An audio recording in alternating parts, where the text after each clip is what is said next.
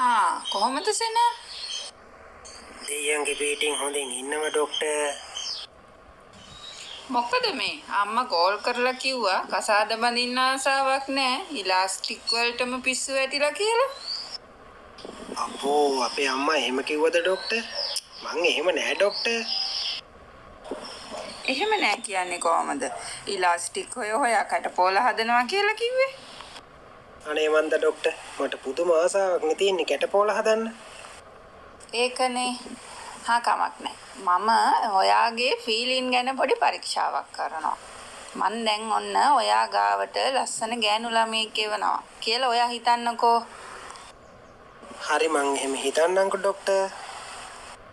හරි ඔන්න දැන් ඔයාගේ ඉස්සරහා ලස්සන ගෑනු ළමයෙක් ඉන්නවා. එතකොට ඔයා පළවෙනියටම මොකද කරන්නේ? අනේ මන්ද ඩොක්ටර් ලැජ්ජත් හිතෙනවා. ඉස්සල්ලාම ගවුම ගලවනවා. ඊට පස්සේ ඊට පස්සේ වෙස්ට් එකයි යට සායයි ගලවනවා. වාව් නියමයි. මේ අම්මලා මට බොරුනේ කියලා තියෙන්නේ. ඔයා නියමටම වැඩේ කරගෙන යන්නේ. අයියෝ ඩොක්ටර් මට ලැජ්ජ කරනවද මන්දා? නෑ නෑ ලැජ්ජ කරන්නේ. ඔයා පිළිවෙලට වැඩේ කරනවා. හරි. දැන් ඔයා ඊළඟට මොනවද කරන්නේ? ඊළඟට ඩොක්ටර් බ්‍රා එකත් ගලවලා දානවා. Wow good Sena.